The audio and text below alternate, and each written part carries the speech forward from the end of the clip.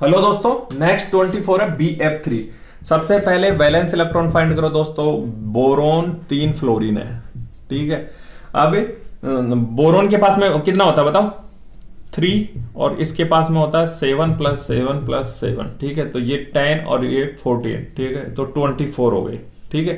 अब क्या करो boron is least electronegative than fluorine that's why boron is the central atom ठीक है? और बचे हुए से सेंट्रल एटम से क्या बना दो? सिंगल सिंगल बॉन्ड बना दो, ठीक है?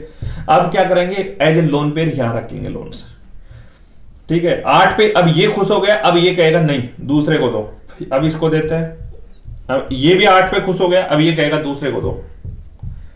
ये भी खुश हो गया, ये कहेगा आप दूसरे को तो देखो, आठ तो आठ चौबीस, पूरे कंप्लीट हो गए हमारे पास में, अब कुछ बचा ही नहीं, ठीक है? अब देखो, दो दो, चार, दो, छह, ठीक है? अब इसको दो और चाहिए बोरोन को, समझ में आया? तब इसका ऑक्टेट कंप्लीट होगा, ठीक है? तो मैं क्या करता हूँ फ्लोरिन कहता है, मेरे से ले ले दो, ठीक है? तो ये क्या करता है टर्न करता है इधर, ठीक है?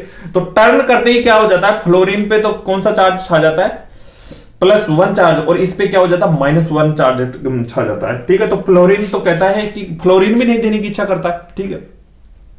तो ये क्या करता है? बोरोन ही कह देता है कि नहीं यार भाई, मैं इनकम्प्लीट में जी लूँगा। समझ में आ गया दोस्तों? ठीक है। अच्छा आपको एक और बता देता हूँ। देखो दोस्तों, दिख रहा है ना आपको? कभी भी प्रॉब्लम हो, हमेशा याद रखना। वैलेंस इलेक्ट्रॉन मतलब आउटर मोस्ट सेल में कितने इलेक्ट्रॉन होते हैं? वन टू होते हैं, इसमें थ्री होते हैं, इसमें फोर होते हैं।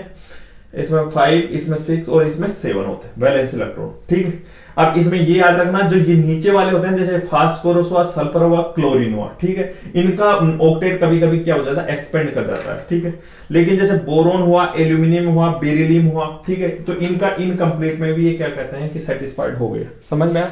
तो ये क्या हो गया? अब इसको एक बार अच्छे से बना दो। ये बन गए फ्रोलोरिन। दो दो, चार, दो छ दो दो, चार, दो छ दो दो, चार, दो छ ठीक है? This is the Lewis structure of B F three ठीक है दोस्तों?